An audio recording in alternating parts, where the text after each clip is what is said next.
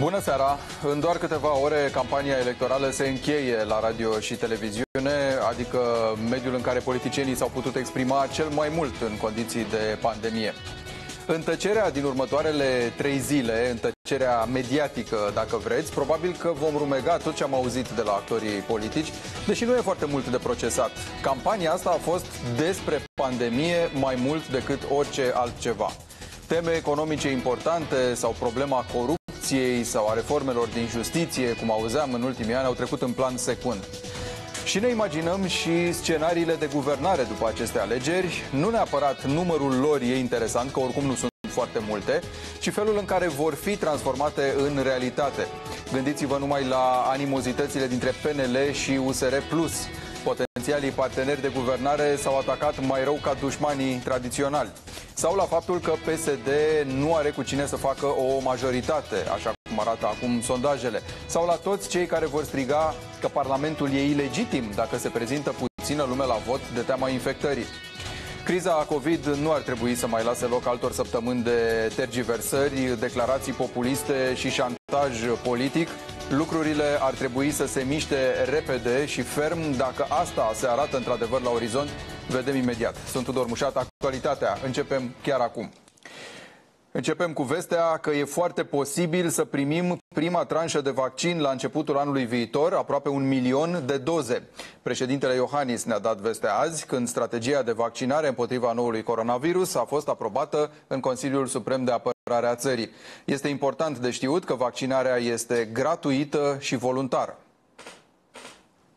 Este foarte posibil ca la începutul anului viitor să beneficieze România deja de prima tranșă de vaccin.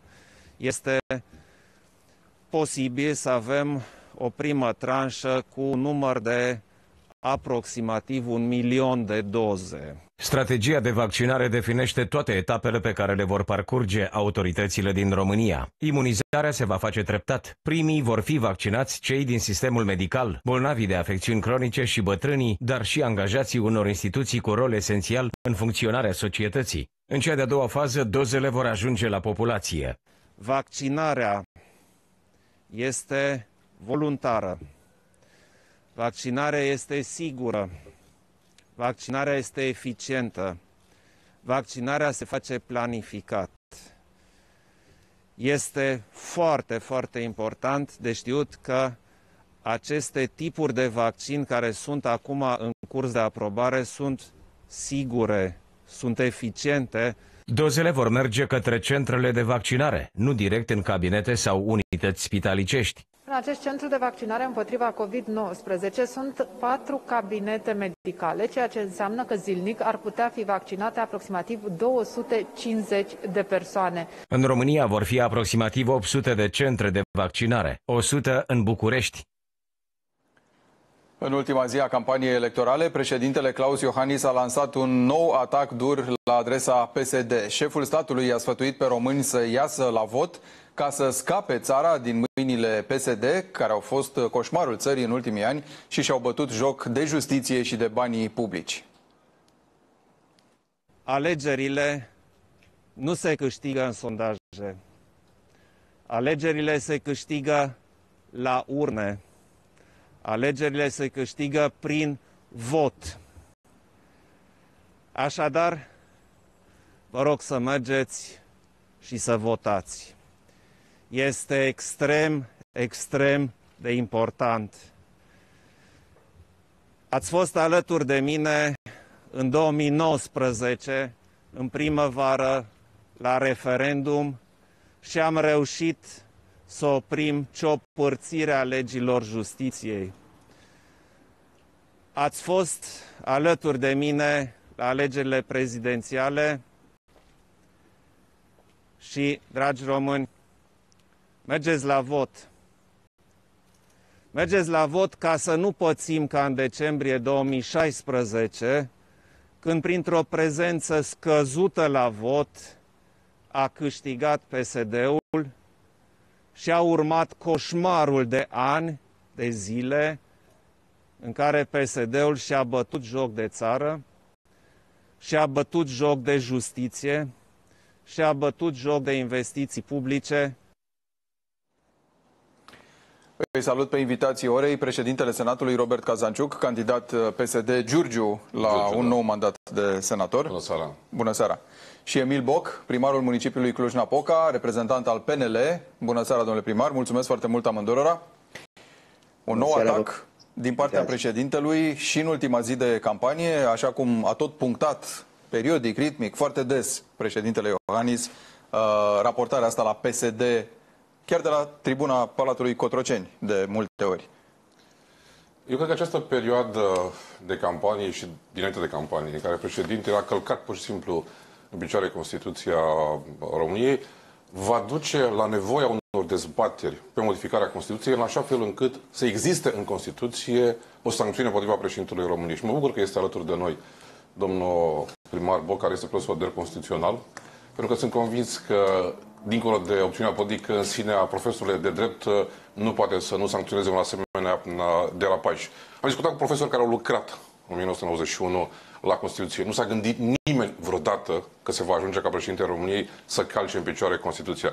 Noi vorbim de valori europene, de justiție, de stat de drept. Ce exemplu dai tu poporului tău, președintele României, când tu calci în picioare la fiecare apariție Constituția, te transformi într-un agent electoral al unui partid politic fără niciun fel de rezervă. Explicația jenantă uneori că te-a trimis cineva acolo, nu, te-a trimis poporul român acolo. Pe o lege fundamentală. Vrei să o respecti? Stai foarte bine acolo, ai sprijinul poporului. Nu vrei să respecti? Lasă-ne. Lasă-te cineva. că a vorbit despre ce a văzut în ultimii ani. Domnul că nu îi putem cere, ca să citez, e... să fie un mut care nu spune ce... Nu, nu trebuie să cerem. Știți cum? Uh, nu ce a văzut de la Palatul Legea e facultativă, statul de drept este doar când suntem în opoziție, doar pentru a merge la o tribună politică, nu este o stare de spirit, nu este o valoare fundamentală a unei țări europene. Statul de uh, drept de ce să nu respecte președintele României Constituția? Are aceeași obligație de rezervă pe care au și magistrații, că a fost astăzi la CSM, călcând din nou Constituția, făcând declarații politice într-un for al judecătorilor și procurorilor. Fără niciun fel de rezervă. De ce? Pentru că știe că nimeni nu-l poate sancționa. Așa ceva nu are cum să nu rămână nesancționat. Odată de români. Românii vor sancționa foarte dur orice apariție publică a președintelui României. Uitați-vă pe conturile de Facebook. Deci o să vedeți acolo furia românilor care spune, lasă-ne cu PSD-ul, guvernați de un an și ceva această țară. Avem 200 de morți pe zilnic. S-a furat ca în codru legat de măști, legat de aparatele. Domnul Mușat, s-au furat aparatele ventilatoare. Trebuie probat, domnule senator, este, știți este de fiecare dată când se fac astfel de afirmații despre furt, corupție, ele trebuie probate într-o instanță. Unifarm, unde da. sunt 200 de aparate din informațiile mele sub sechestru. Oamenii mor în spital pentru că nu au aparate și aparatele sunt sub sechestru. De ce? Că niște indivizi și-au permis să fure aceste aparate, să fure din banii de pandemie. Toate lucrurile astea, de ce trece președintele sub tăcere corupția din această perioadă de un an de zile? Chiar zilele astea am văzut, chiar astăzi, un scandal de corupție de la Brașov, pe numire făcute de către PNR. Am văzut un scandal după raportul Curții de Conturi, care s-a stins foarte uh, repede, care a arătat foarte clar ce au făcut DSP-urile, achiziții publice în starea de urgență, la prețuri de 10 ori mai mari, numiri fără niciun fel de jenă pe criterii politice. Păi cum să pui la spitalul din Piatra Neamț un director de pompe funebre, director, cum să fiu uh, elegant. Cât, cât, cât de cinic să fii. Bun, ce s-a întâmplat acolo la Piatra Neamț, iertați-mă, avea legătură mai mult cu conducerea Consiliului Județean, nu, care legătură, era de la PSD. Nu, domnul Mușat, avea legătură cu perioada în care spitalul a fost trecut de la Consiliu la Ministerul Sănătății. Da. Și ce să vezi? Bun. Ministerul Sănătății a găsit un specialist într-un personaj de la pompe funebre. Asta este competența pe care o oferă această guvernare poporului român. S-au schimbat și acolo incompetența, specialiști cu ghilimele și uh, o grămadă, vreo șase. duce din păcate da. la decese foarte Ne multe. întoarcem la gestionarea pandemiei. Aș vrea să-l întreb pe domnul primar dacă în toiul acestei controverse legate de mesajele anti-PSD repetate ale președintelui Iohannis, avea PNL nevoie de acest gen de susținere. Că multă lume s-a întrebat, domnule, dar de ce atât de insistent președintele? Bun, sigur, încearcă să uh, promoveze această guvernare, să o susțină, dar a apărut întrebarea, PNL chiar avea nevoie de atâta susținere? Adică simțea uh, nevoia să vină cineva și să întărească, eu știu, capitalul electoral al, PSD, al PNL în felul ăsta? Al PSD, bine spus. Ușat, bună seara, domnule ministru Cazanciuc, vă salut de la, de la Cluj. Uh, dincolo de ce o să susțin personal, respectul meu față de domnul ministru Cazanciuc rămâne același, uh, chiar dacă, repet, punctele noastre de vedere pot să difere, fiind uh, din domeniul juridic, o să vin și eu cu argumentele pe care le consider necesare. În privința atribuțiilor președintelui, pentru că domnul Cazanciuc a spus președintele a călcat în picioare Constituția. Vă rog să menționați care articol din Constituție a fost încălcat, dar după ce o să finalizez toată uh, argumentația mea. În al doilea rând, avem decizia Curții Constituționale, mai bine spus, avizul Curții Constituționale numărul 1 din 2007, când exact aceeași temă a fost ridicată în fața Curții Constituționale cu privire la suspendarea din funcția președintelui Traian Băsescu. Și atunci Curtea Constituțională a tranșat definitiv acest subiect pe actul la Constituție, cât timp ea este în vigoare și nemodificată. Citesc din acest aviz al uh, Curții Constituționale, care spune așa, prerogativele constituționale, ca și legitimitatea democratică pe care o conferă alegerea lui de către electoratul întregii țări, îi impun președintelui României să aibă un rol activ, prezența lui în viața politică neputând fi rezumată la un exercițiu simbolic și protocolar. De asemenea, președintele României poate, în virtutea prerogativelor și a legitimității sale, să exprime opțiuni și opinii politice, să formuleze observații și critici cu privire la funcționarea autorităților publice, a exponenților acestora, să propună reforme sau măsuri pe care le apreciază dezirabile interesului național. Deci acest lucru este tranșat definitiv de către Curtea Constituțională în interpretarea textelor Constituției și a rolului pe care Constituția îi conferă președintele României. Repet, președintele României nu este monarhul Marii Britanii. Președintele României nu este ales de Parlament ca să fie răspunzător politic în fața Parlamentului. Președintele României răspunde din punct de vedere politic în fața cetățenilor care l-au ales și care l-au mandatat să pună în practică un program pentru care l-au votat. În acest sens, el are dreptul la judecăți de valoare, la expune opiniile, la parteneriatele pe care le consideră necesare, ca acele proiecte politice pentru care, repet, a fost votat de români și este omul cu cea mai înaltă legitimitate din statul român, având cele mai multe voturi din această țară. Păi dacă nici acea persoană nu are dreptul să se exprime și să-și expună punctul de vedere cu la modernizarea României, aceea cine? Cine să aibă acel drept în această țară? Din punctul meu de vedere, uh, știu că de, poate să deranjeze dacă ești un partid de opoziție, dar atunci când un președinte este ales de toți românii, are dreptul constituțional și este obligat să spună lucrurilor pe nume. În privința uh, celorlalte elemente menționate de domnul Cazanciuc, uh, evident, nu pot să fiu de acord pentru că uh, dacă ne uităm să comparăm onest, guvernarea PSD, care a ridicat din nefericire incompetența la rag de politică de stat. Eu nu spun că poate mai sunt câte două, trei numiri, mai, mai fi există niște probleme, câteva nuanțe în teritoriu, dar, repet, nu putem compara mere cu pere. Adică ceea ce a fost din nefericire în timpul guvernării PSD și din perspectiva atacului la statul de drept, că am fost pe cale să fim dați afară, să se suspende dreptul de vot din Uniunea Europeană și accesul la fondurile europene, așa cum astăzi Polonia și Ungaria riscă să nu primească banii din fondurile europene pe care România îi va primi în valoare de 80 de miliarde de euro. Riscul pentru România este, repet, uh, uh, venirea la guvernare, Doamne ferește, a PSD-ului ar putea pune în pericol accesarea celor 80 de miliarde de euro pe care România îi are în față pentru următorii șapte ani. Deci avem în față nu doar patru ani, avem șapte ani în față de modernizarea acestei țări, iar un partid care nu este credibil în Uniunea Europeană nu va aduce acești bani în țară. Partidul Național Liberal face parte din cea mai puternică familie europeană, stă alături de ce înseamnă Ursula von der Leyen, președintele Comisiei Europene, de ce înseamnă președinția Parlamentului European, de majoritatea pe care o deține în Parlamentul European și este un partid credibil și recunoscut din perspectiva acestor valori.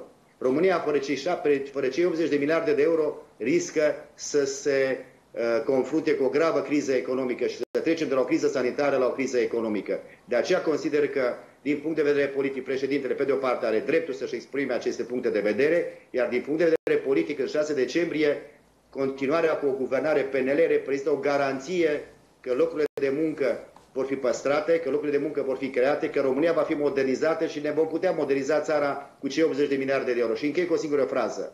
România a avut în ultimii 14 ani acces la 75 de miliarde de euro din fonduri europene. Acum va avea 80 de miliarde pentru 7 ani. Nu putem rata această șansă istorică pentru România și să nu o acordăm unui partid care a demonstrat că este credibil să aducă acești bani în România. PSD-ul, da. repet, a fost în pragul exact de a pierde accesul la fondurile europene și de a pierde suspendarea și de a pierde dreptul de vot în uh, Consiliul Uniunii Europene. Vă răspunde domnul Cazanciuc la povestea cu articolul încălcat din Constituție și după aia mă întorc eu la întrebarea dacă avea nevoie PNL de atâta susținere și de ce, domnule Cazanciuc. Da, nu e pentru domnul profesor Bob, pentru că știe foarte clar acest lucru. E vorba de articolul 80 din Constituție care vorbește de rolul președintelui României și de funcția de mediere a președintelui României. Restul înseamnă călcat în picioare pur și simplu legea fundamentală. Vorbind de statul de drept, nu știu dacă domnul Boc este de acord cu ceea ce a spus premierul uh, Orban de desfințarea Curții Constituționale. Nu știu dacă e de acord cu desfințarea instituției avocatului poporului. Nu știu dacă e de acord cu critica la adresa instanțelor de judecată când pronunță soluții care nu convin la un moment dat puterii. Toate astea sunt valori europene. Crede cumva domnul Boc că cei de la Comisia Europeană vor tolera la nesfârșit tipul ăsta de abuz? Eu cred că nu. Mai devreme sau mai târziu, fie Comisia de la Veneția, fie uh, structura specializată din cadrul Comisiei Europene va ieși să spună public disperați la un moment dat de aceste încălcări constante la nivelul cel mai înalt din uh, România. De ce face președintele României acest lucru? Este foarte simplu, domnul Mușat. Să ascundă dezastrul guvernării PNR din această perioadă. Încearcă să deturneze cu riscul de a rămâne în istorie ca președintele care a sfidat pur și simplu Constituția, încearcă cu orice preț, are o datorie, să spunem, față de PNL. Da. Vede că PNL-ul nu poate Domnule senator, să nu, gestioneze... nu sunt la vedere lucrurile astea, adică și guvernarea PNL, cum a fost și cea a PSD până anul trecut, nu sunt niște lucruri la vedere pe care românii le experimentează, le trăiesc zi de zi pe pielea lor? Ce e de ascuns? Adică poate să președintele de o mie de ori să-mi spună că ceva se face într-un fel dacă eu văd că se face în alt fel, nu? Până la urmă. Tocmai lucrul ăsta o să se vadă foarte clar la alegeri. Guvernarea PSD a însemnat o creștere a puterii de cumpărare a fiecărui român cu 30%. Fapte, nu vorbe. Ceea ce auzim astăzi uh, cu aceste sume care vin de la Bruxelles, nu o să vină deocamdată nimic pentru că Ungaria și Polonia au blocat acest uh, proces, din păcate. Dar ceea ce știm sigur, deci avem o, o promisiune de 80 de miliarde, ceea ce știm sigur este că domnul Câțu se împrumută cu 1000 de euro pe secundă la dobânzi pe care nu le mai are nimeni în uh, Uniunea Europeană. Suntem așa zicea categorie junk, adică nefrecventabil. Chiar dacă nu suntem formal, marile agenții de rating nu au dus România în categoria junk pentru că nu aveau nevoie. Dobânzile sunt la cel mai mă, înalt nivel de categorie mă, junk. Asta e ce oferă guvernarea PNL în momentul de, de față. Sutele de morți. Zi, nu este bine să vorbești despre lucrul ăsta. Dar este o cruntă realitate. Sutele de morți zilnic. Actele de corupție, numirile astea făcute, nu, nu e ca și cum, aroganța asta nu e ca și cum guvernul de... îi omoară, iertați-mă. Adică domnul Mușat, nu, eu nu spun că îi omoară. Există o situație de, de sănătate publică nu, pe toată planeta eu, eu care are aceleași consecințe nefericite, din păcate, eu pot să spun că țările. cineva din guvern face lucrurile astea cu intenție. Dar pot să spun că incompetența, hoția și prostia omoară românii. Despre asta este vorba. Cum să pui tu cine? Să știți că exact ce spuneți dumneavoastră am auzit de la adversarii politici până Domnul anul trecut. Deocamdată vreme de, de niște ani buni legați de guvernarea PSD. Avem o pandemie de gestionat. Vorbind de articolul 80 din Constituție, președintele României putea să facă un lucru foarte simplu. Să cheme la control pe toată lumea să discute soluțiile pentru... Mă, a putut să spună în martie că avem nevoie de votul PSD-ului și să fim responsabili cu nevoile țării. Am fost responsabili cu nevoile țării. Am dat țării un guvern cu toată, să spunem, nemulțumirea politică, într-un moment greu pentru țară. Nu a venit o singură dată premierul Boc în Parlament să spună oameni buni. Astea sunt soluțiile pe care le propunem noi. Ce părere aveți înainte să devină ele lege? Eu nu trimiți o lege proastă în Parlament, domnul Moșat. O lege proastă pune în pericol pe toată lumea. O lege proastă nu protejează pe nimeni. A venit în Parlament legea pandemiei și am întrebat, oameni buni, unde în Uniunea Europeană, nu în altă parte, sunt internate persoanele asimptomatice? Dați-ne un singur exemplu și spuneți-ne de ce. Ca să nu facem uh, această greșeală pe care o faceți voi acum, să umpleți spitalele de oameni care nu au ce să caute acolo. N-a fost în stare nimeni să vină cu o explicație medicală, nu de altă natură de ce este. E doar un exemplu de incompetență crasă care a dus la blocarea spitalelor și la uh, blocarea accesului persoanelor care aveau alte boli la rețeaua publică de sănătate. Știți că în momentul de față oamenii nu au acces la spitale pentru că nu au testele COVID, pentru că nu au bani să le facă. Dacă nu ești, dacă nu ești într-un contact cu o persoană COVID, adică în definiția de caz a DSP-ului, nu poți să decontezi testul uh, COVID. Dacă ai simptome de uh, COVID și vrei să faci testul, trebuie să scoți 400 de lei din buzunar. Dacă îi ai. Dacă vrei să mergi la un spital pentru că ai o boală obișnuită, spre exemplu, nu poți să mergi. Spitalul public din, îți cere testul COVID. Din câte știu, te testează spitalul. Dacă vii acolo cu, cu probleme, te testează la admitere sau la, în funcție de problema pe care o ai. Nu te testează nimeni, că nu mai au cum oamenii. Personalul medical este la limită. Am discutat cu un medic Bun. care îmi povestea Or... Doar o, o secundă. Vă rog. Îmi povestea că a rezistat medic de la ATI șase luni de zile și n-a fost infectat. Într-o săptămână, trei medici de la ATI au căzut. S-au infectat. Organismul n-a mai rezistat. Este o supra-solicitare asupra uh, personalului medical și la un moment dat cad acești oameni, ca și asupra spitalului. Nu s-a făcut nimic, din păcate, aici pentru a pregăti mă, spitale. Noroc că PSD-ul a mărit salariile medicilor foarte mult și n-au mai plecat din țară în 2017-18. Dacă nu aveam nici medici astăzi, unde era această mă, țară pe mâna guvernului Orban? Da, a fost foarte mult, domnule primar, campania asta. Aproape în exclusivitate a fost despre pandemia de COVID-19. Vă rog totuși să vă răspundeți la întrebarea dacă nu a vulnerabilizat acest sprijin insistent al președintelui mai degrabă decât să ajute uh, PNL-ul. Uh, iscând această întrebare, de ce are PNL-ul nevoie de atâta susținere? De ce nu se descurcă sau dacă nu se descurcă în campanie doar pe cont uh, propriu? Președintele și-a asumat nu de acum, ci de mult parteneriatul cu Partidul Național Liberal. Deci nu este un lucru nou spus în seara aceasta pe care să-l fie aflat românii. De asemenea, am demonstrat cu text constituțional și cu argumentația Curții Constituționale că un asemenea demers este perfect legitim, corect și în acord cu textul Constituției. Încă din 2019, așa cum uh, preciza președinte, de la referendumul pe justiție, de la alegerile europarlamentare, după aceea în uh, toate celelalte momente politice importante și mai ales acum în pandemie, Partidul Național Liberal și în special Guvernul României și președintele României au stat spate în spate. Și așa e normal să fie în vremuri grele, în vremuri de criză. Să stai spate în spate și să trecem împreună această țară. Ce ar fi însemnat ca președintele să rămână izolat la Cotroceni, să spună o vorbă pe lună și să nu-l intereseze soarta românilor când el a fost votat de toți românii? Un gest de curaj politic în primul rând și în același timp de respectarea Constituției a fost să-și asume împreună cu guvernul trecerea prin această criză. Și cred că din punctul acesta de vedere a făcut, a făcut un lucru corect. Iar pe de altă parte a solicitat continuarea acestui parteneriat, care până la urmă, haideți să spunem lucrurilor pe nume. Nu, uh, Cazanciuc, în 2019 românii au ieșit în stradă pentru a opri abuzurile PSD-ului. Nu trebuie să uităm aceste lucruri. Nu dumneavoastră a fost acela care l-ați provocat, trebuie să recunosc acest lucru. Nu a fost artizanul acelor legi care au scos românii în stradă și au pus România pe, pe făraș la Uniunea Europeană. Dar a fost PSD-ul acela. Nu uităm atât de repede aceste lucruri și românii nu pot să uite acele momente, iar mai ales acum când, repet, în joc sunt 80 de miliarde de euro, nu ne putem permite să revenim la aceleași practici. Vorbeați, domnule ministru, de Ungaria și Polonia, că vor bloca. Astăzi, știți bine, Uniunea Europeană pregătește cadrul alternativ de a scoate din joc Ungaria și Polonia și de a merge mai departe și cu bugetul și cu partea de fondul de reziliență, fără bani europeni pentru Ungaria și Polonia, atâta vreme când nu respectă statul de drept. Deci Europa nu va rămâne blocată în două state care nu respectă statul de drept. Va merge mai departe cu România alături de statele europene care respectă aceste valori unde am intrat. Deci, din acest punct de vedere, lucrurile sunt foarte clare. Cine nu este credibil uh, în Europa nu primește acești 80 de miliarde de euro. Și repet, acești bani vin de la Uniunea Europeană pentru că Uniunea Europeană s-a împrumutat în numele tuturor statelor membre. Și România nu poate pierde această șansă, pentru că e singura noastră cale de a diminua decalajele de dezvoltare dintre România și Uniunea Europeană. E singura noastră cale de a ne menține România acasă în viitor, să nu mai plece să muncească în străinătate, să plece doar ca și turiști, ca și orice cetățeni europeni, când doresc ei, nu din motive economice. Asta înseamnă 80 de miliarde de euro pentru viitoarea guvernare, pentru că, până la urmă, locul de muncă este cea mai bună formă de protecție socială. Diferența majoră între PSD și PNL este următoarea. PSD-ul a pus întotdeauna accent cum să împărțim la infinit mica prosperitate pe care o avem, o plăcere pe care tot o împărțim, iar la un moment dat aici nu mai avem ce să împărțim.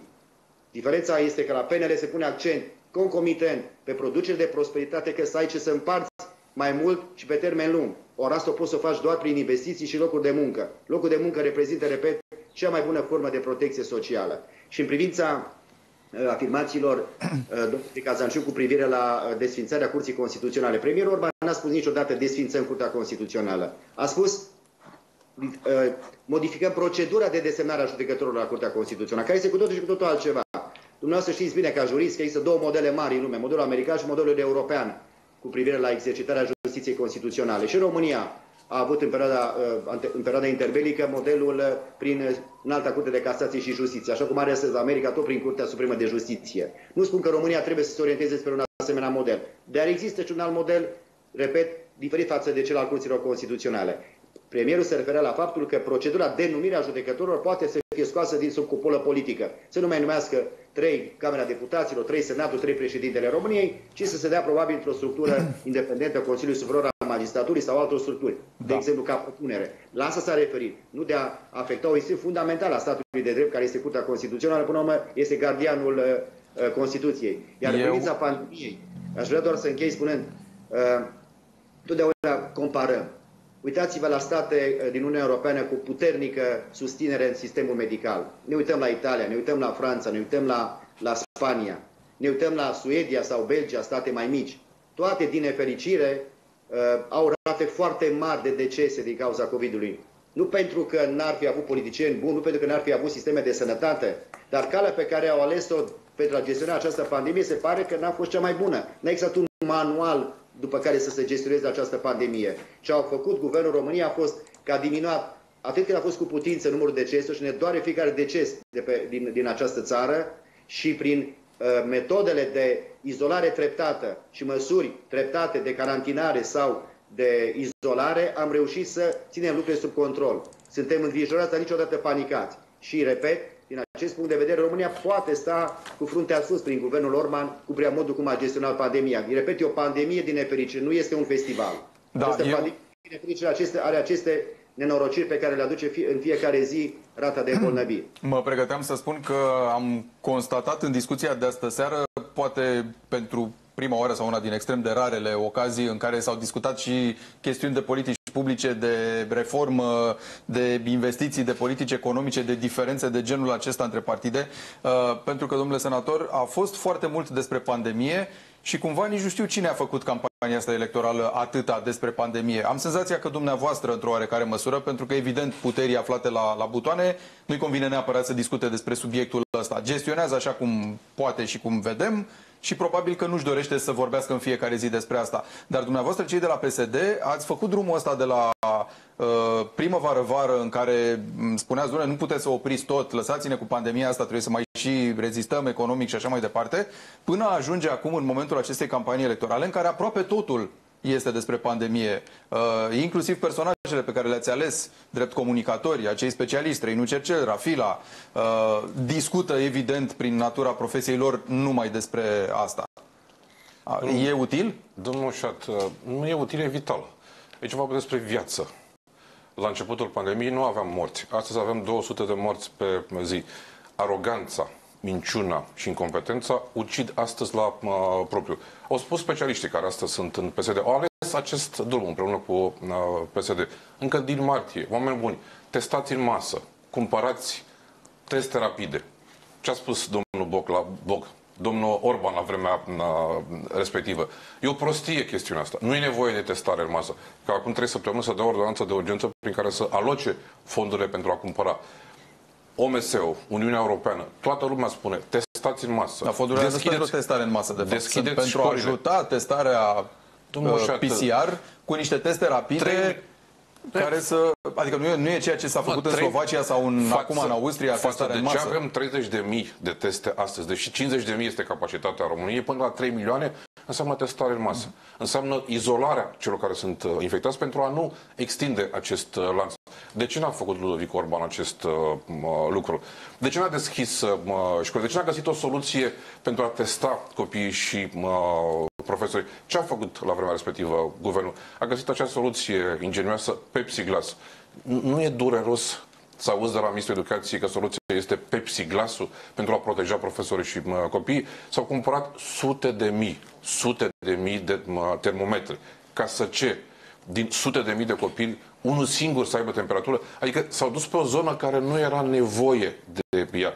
De asta spuneam, incompetența crasă acestui guvern pune viețile în pericol în mod Știți de ce vă întrebam dacă e bine aleasă acea uh, rapidă? Miza și strategia? Pentru că probabil că oamenii spun, ok, cine ar fi făcut ceva total diferit în plină pandemie când vedem ce se întâmplă în Statele Unite sau în Italia sau în Marea Britanie sau în Franța?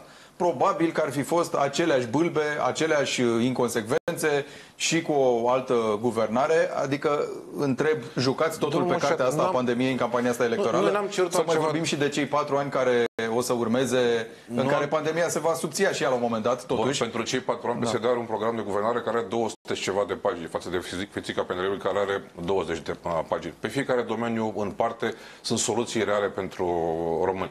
Dacă domnul Orban asculta specialiștii din martie, nu treceau șase luni de zile să ajungem la 200 de morți pe zi, făcea testarea masă de atunci, poate nu ajungeam la acest număr mare de morți. Ce face Uniunea Europeană? Noi testăm 1,4 români la 1000 de locuitori. Franța o face de trei ori mai mult. Nu putem să facem și noi același lucru? Nu putem să investim în creșterea capacității de testare a românilor. De ce n-am făcut acest lucru? Dacă toată lumea spune că asta este singura formă de a ține cât de cât sub control această pandemie, de ce nu face lucrul ăsta? Nu sunt resurse? Păi, i-am spus domnului Câțu, v-ați împrumutat 100 de miliarde. Ne pune pe site-ul Ministerului de Finanțe. Unde s-au dus acei bani și la ce dobânzi ați luat acele împrumuturi? S-au dus cumva pentru pandemie? Unde sunt? Ați cumpărat măștile la de 10 ori prețul cât era necesar? Ați cumpărat aparate pentru protejarea medicilor și nu le vedem noi mă, mă, cumva unde s-au dus acei bani. Despre buna credință în gestionarea pandemiei este vorba. Nu, cum spuneam, nu a venit odată premierul Orban să discute o soluție în Parlament. Sunt 3-4 modele în momentul de față în Uniunea Europeană de state unde puterea merge la opoziție și împreună caută soluții. E vorba de același popor. Nu e poporul pedelist și poporul pesedist. E vorba de poporul român.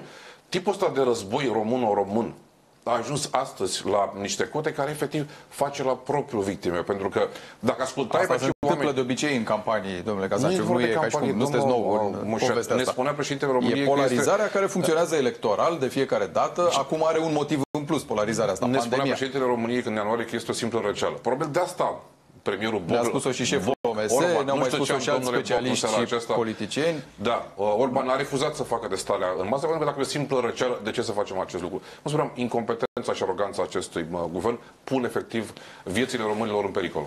Aceeași întrebare, sau mai bine zis, în aceeași cheie, întrebarea și pentru dumneavoastră, domnule primar Boc, dacă PNL de data aceasta, la rândul lui, nu s-a concentrat prea mult pe a spune ce se va întâmpla cu acei bani uh, europeni Adică în vreme ce PSD s-a legat foarte mult de acest subiect al pandemiei, dumneavoastră în, am senzația că vă legați foarte mult de ce se va întâmpla cu banii ăștia care au venit însă tot în contextul ăsta.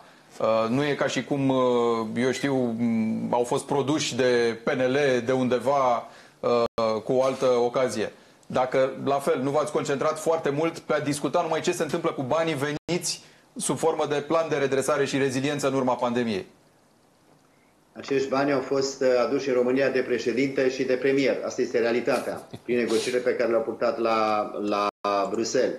Deci o campanie electorală este și despre viitor. Pentru că de pandemie vorbim în fiecare zi. Nu cred că vorbește cineva mai mult decât guvernul despre pandemie. Și, repet, nu există soluție magică astăzi. Probabil se vor scrie cărți după această pandemie, așa cum s-a scris după gripa spaniolă de acum 100 de ani.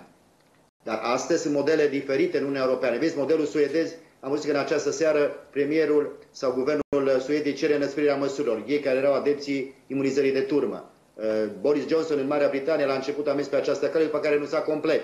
Uh, de asemenea, Statele Unite, vedeți, are cel mai ridicat număr de decese din lume. Sisteme de sănătate puternice, precum cele din Franța, Italia, Spania, au fost puse pe butuci. România, în toate aceste condiții grele, are o situație sub control. Și acest lucru nu poate fi negat. Că este greu, da, este adevărat.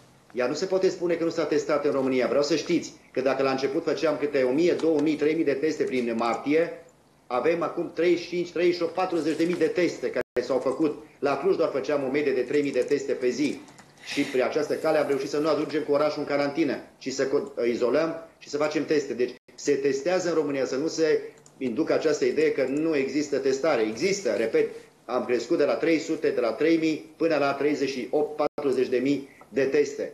Uh, din privința aceasta apare vaccinul. Acum sperăm că vom trece într-o etapă nouă. Uh, Marea Britanie va începe săptămâna viitoare utilizarea vaccinului. Noi deja pregătim locații, administrațiile locale, unde vor fi centrele de vaccin începând cu anul viitor.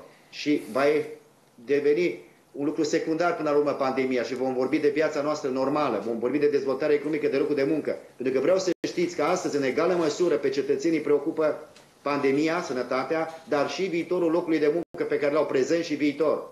Iar aici, când spunea domnul ministru că programul PNL-ului de câteva pagini va da doar planul acesta de reziliență de sute de pagini pe care îl aveți în față și care arată guvernarea PNL pentru următorii uh, patru ani de 30,4 miliarde de euro, un uh, proiect extrem de consistent de țară și care... Domnul, domnul Boc, dacă permiteți, cât a alocat PNL-ul din acel plan pentru sănătate? Am și o întrebare.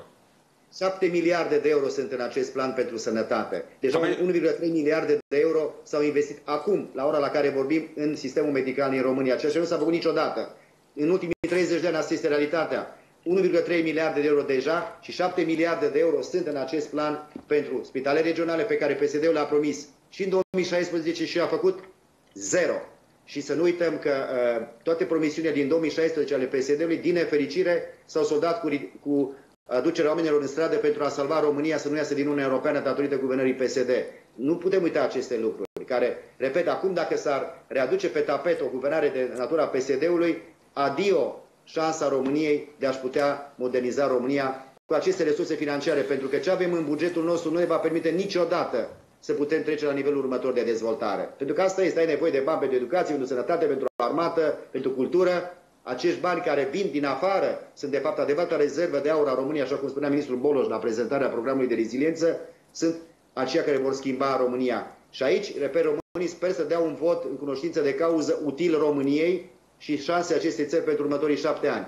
Închei spunând că, din nefericire, uh, ar fi fost bine să conlucreze Parlamentul uh, cu executivul în perioada asta de criză. Dar mi-amintesc câte dificultăți au fost uh, în perioada trecerii de la starea de urgență la starea de alertă cu privire la uh, procedurile foarte lungi care au stat în Parlament cu privire la proiectele de acte normative înaintate de către guvern. Am pierdut atunci tempouri importante, timp prețios, care poate ar fi salvat vieți. Acolo, în Parlament, PSD a fost acela care a deținut majoritatea și care, prin tergiversarea adoptării, de exemplu, legii cu privire la starea de, uh, de alertă și cu privire la măsurile care se impun de la trecerea de la starea de urgență la starea de alertă, a creat un anumit vid legislativ care, din nefericire, s-a soldat cu peste 5.000 de oameni care au ieșit din spitale cu COVID-19. Uh, continuăm discuția noastră în câteva momente. Răspundeți, bineînțeles, domnule Cazanciuc. Vorbim și de posibile alianțe la guvernare. Trebuie să luăm o scurtă pauză, după care ne întoarcem imediat. Rămâneți cu noi.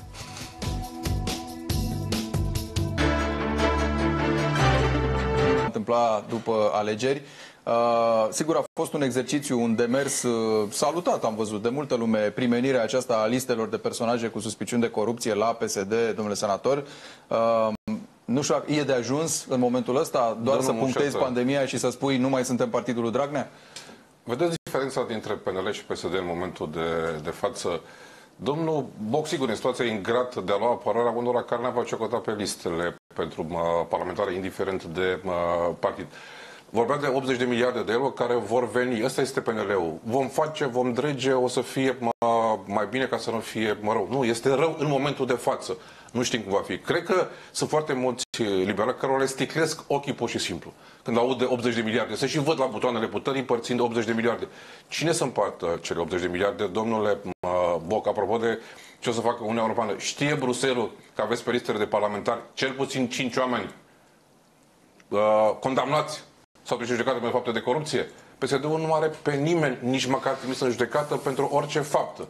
Deci eu cred că România văd foarte clar pe mâna cui vor să dea această ceară din perspectiva banilor na, bă, publici. Chiar și așa, din perspectiva... senator, cu cine o să faceți o majoritate, având în vedere că nu vrea nimeni să se asocieze în momentul ăsta, probabil mai puțin pro-România sau poate UDMR, dar nefiind de ajuns la cum arată calculele, ca să aveți o majoritate confortabilă. Toată lumea este prudentă în a vorbi de asociere în momentul de față, pentru că știți că în ultimul timp, din păi da, păcate, da, unii au zis clar că nu. Sondajele de opinie, sondajele de opinie au spus anumite lucruri, a ieșit altfel la vot. Un lucru este cert, indiferent de sondajele de opinie, PSD va avea cel mai mare scor în acest uh, moment, va face o majoritate parlamentară cu cine va dori și aici fără mă, vorba de, mă, să spunem, un discurs politic, cu cine va dori să respecte câteva principii fundamentale pe care PSD-ul a spus foarte clar pentru această perioadă, pentru prima mă, etapă de după alegeri. Testare în masă, deschiderea școlilor, deschiderea piețelor, sprijinirea firmelor românești. Sunt câteva Piețele lucruri. se deschid duminică, gata, Domnul, de pe listă. Mușat. Ne-a mă spus președintele României acum o da. zile că se închid piețele acum cu o zi înainte de alegeri, spun că se deschid piețele. Nu despre asta este vorba, ci despre consecvență, rigoare și asumarea unor uh, proiecte. Cine va dori să-și asume aceste uh, proiecte, poate veni cu PSD într-un uh, parteneriat. Sper că în acest al 13 la ceas al mandatului său, domnul președinte Iohannis, să nu calce din nou Constituția și să dea, să spunem, guvernarea partidului, majorității care va veni cu o susținere foarte clară în uh, Parlament. Altfel, o să fie decât o altă etapă tristă din istoria noastră. Cel mai uh, grav lucru este ca poporul român să rămână în următorii patru ani zile cu acest guvern Orban. Cel mai puțin periculos lucru este ca oamenii să vină la vot. Oamenii vor veni cu, sunt convins, într-un număr foarte mare la vot de această dată, pentru că sunt conștienți că viețile le sunt puse efectiv în pericol de incompetență, domnul Mășat, în momentul de, de față, și de păție dovedită până acum. Da, domnule primar, uh, o să fie complicat, probabil, chiar și pentru partea dreaptă, unde lucrurile par să stea destul de confortabil. Dacă aduni PNL cu USR Plus, cu PMP și poate cu UDMR, ți-ar ieși de o majoritate, doar că sunt foarte multe semne de întrebare și fricțiuni între potențialii aliați și mă refer doar la, la tensiunile astea cu USR Plus pe care le au liberalii. Cât de complicat e să treceți peste ele. Despre alianțe discutat de luni încolo. Până uh-huh. luni vor vorbi cetățenii prin votul pe care vor da duminică. Eu sunt convins că Partidul Național Liberal va câștiga aceste alegeri și va forma guvernul. Despre alianțe, așa cum am spus, de luni încolo. Uh, vreau doar să-i spun domnului ministru uh, Cazanciuc că nu există niciun fel de persoană trimisă în judecată uh, sau cu dosar penal pe listele Partidului Național Liberal. Deci, din acest punct de vedere, lucrurile vreau să fie foarte, foarte clare. Domnul Boc, verificați, aveți 5 persoane. Există nici o persoană care să aibă probleme penale pe listele aveți Partidului Național. Aveți 5, domnul Boc. Nu există. Vă pot garanta acest lucru. Am participat la ședința în care s-au validat listele electorale, punct cu punct, boc cu boc. Nu mă faceți să spun public acum uh, pe acea listă că nu despre asta este poate vorba, vă blocați în înțelegerea, în înțelegerea termenilor. Poate că nu sunt persoane condamnate, poate că sunt persoane... Sunt condamnate în primă instanță. Nu păi există nu așa ceva. Da. Nu există persoane condamnate în primă instanță pe listele Partidului Național Domnul Boc, va rămâne această declarație publică. Bun, va rămâne această declarație și probabil cei interesați uh, o să caute să vadă dacă așa e în momentul ăsta, ca să nu uh, o ținem doar cu o contradicție din asta permanentă. Bun. Uh, da, vă mai departe. Să mergem mai departe uh, cu întrebările dumneavoastră. Despre alianțe, repet, vorbim de luni uh, încolo. Acum este important ce vom face duminică. Și eu vreau să spun două lucruri. În primul rând, românii să meargă la vot pentru că se votează în siguranță și democrația nu poate funcționa fără participarea românilor la vot. Doi, uh, dacă aș fi activ, o persoană dinamică, aș vota cu PNL-ul pentru că este singura șansă să mă asigur că voi avea un loc de muncă bine plătit în viitor. Pentru că, până la urmă, nu poți să te împrumuți la infinit ca să plătești salarii și pensii care este viziunea PSD. La un moment dat se termină sacul acesta de bani trebuie să și produci ceva. Iar nu trebuie cetățeanul să fie tot timpul captiv la stat ca să-i dai câte un pește în fiecare zi. Învață să-și prindă el peștele să poată trăi. Asta este diferența între PNL și PSD. PSD-ul spune, veniți la mine că în fiecare zi vă da cu un peștișor și depindeți de mine PSD, în timp ce PNL spune, aveți undiță, puteți să vă prindeți voi peștele, munciți și aveți atâta cât munciți. Noi trebuie să asigurăm locuri de muncă bine plătite în această țară. Iar banii europeni pe care doar PNL-ul prin credibilitatea lui în Europa îi poate aduce și nu PSD-ul care, repet, a scos românii în stradă în 2019 ca să apere statul de drept și democrația și justiția, dacă nu vom avea aceste resurse financiare, nu vom putea moderniza Bun. România. Mulțumesc Iar foarte mult, domnilor amândurora, nu mai avem timp. Uh, continuăm. Bani nu viață, despre asta este vorba. Asta este oferta. Banii nu viață. Mulțumesc foarte mult. Ne reîntâlnim în câteva momente. Rămâneți cu noi.